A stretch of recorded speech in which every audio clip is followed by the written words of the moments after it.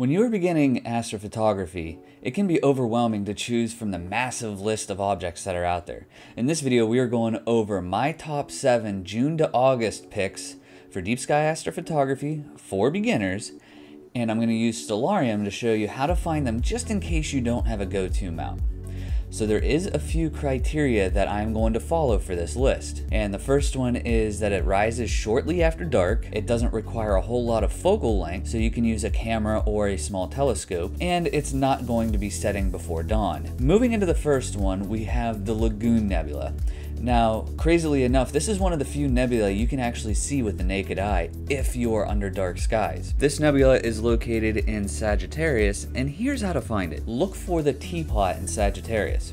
From the top left of the handle of the teapot, go up through the top about the same distance between the stars, and you're on top of it. One more thing to note, this nebula is primarily hydrogen alpha.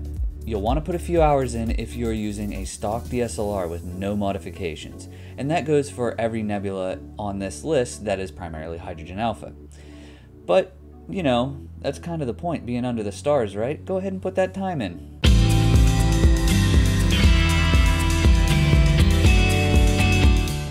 Hi there, my name's Dalen. Here at Astro Escape, we go over all things astrophotography, starting from the very beginner level and working our way up from there.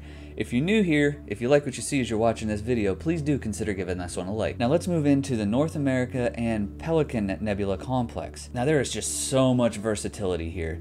You can do just the North American Nebula, you can do just the Pelican Nebula, you can go wide and get them both, you can go deep and get the Cygnus Wall.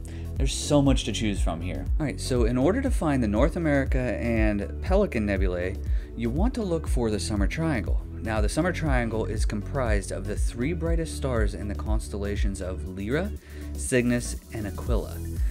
Now, we want to look for Deneb, which is basically the feet of Cygnus. Remember, Cygnus is a swan, so the longer part is the head of the swan. So we want to look for Deneb and then look a little bit east of Deneb and look for 57 and 56 Sig.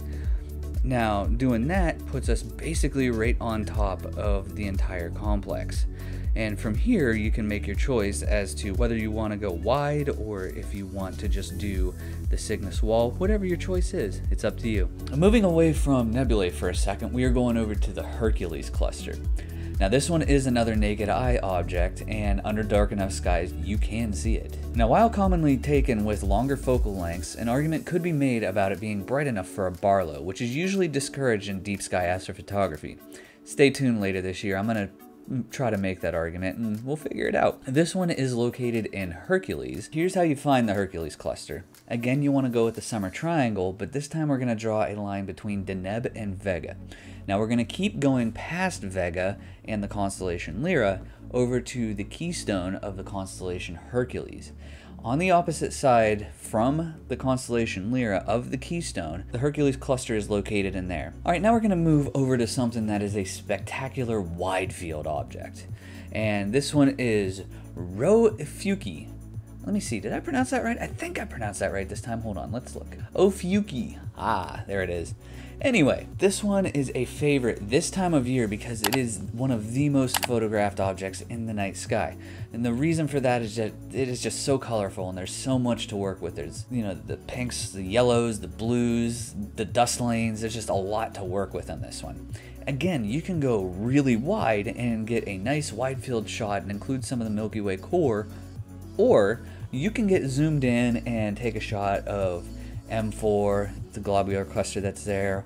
You can get in on Antares and just all of the various aspects and just get real close and get a lot of detail out of it. This one is located in Scorpius, and this one is probably the easiest one to find. If you look for Antares in the constellation Scorpius, you found it because Antares is part of this. Like I said, easy, right? So we're gonna go a little bit further up in the galaxy core past the Lagoon Nebula and go to the Eagle Nebula. This is another great choice to start with because you can start kind of wide around 300 millimeters, but then as you get deeper, you can also get in on what is known as the pillars of creation. And there's just a lot of cool detail you can pull out of this one. But if you start really wide, you can also include the Omega Nebula which is also close by. So the Eagle Nebula is located in the constellation Serpent. Now to find it, you'll want to again look at the teapot in Sagittarius, but then look a little bit above it for the constellation Scutum. I believe that's how that one's pronounced too. At the bottom of Scutum, you see the two stars there, and what you want to do is just draw a line from east to west and just go a little bit to the west of the bottom right star and there it is. All right, before we keep going, I did mention a couple things you could see with the naked eye. Have you seen them with the naked eye? If so, let me know down in the comments below. But let's move on to the Cat's Paw Nebula. So this one is located a little bit south of Ophiuchi, and this one, it's very easy to see where the name came from on this one. Now this one does require going with at least 300 millimeters or more in your focal length, but if you go wide, you can also get the nearby Lobster Nebula. Now the Cat's Paw Nebula is located in Scorpius, but this one is on the tail of Scorpius instead of the head and the claws. So what you want to do to find it is look for the stars Mula and Shaula. Draw a line that is the same distance between the two past Shaula. From there, the lobster is on the east side of the line and the cat's paw is on the west. And like I said, looking at the nebula, it is very easy to see where the name came from, right? All right, and moving on to the last object, we have the Veil Nebula. Now we're gonna go back to the Summer Triangle here, and this one, it there's a ton to do with this.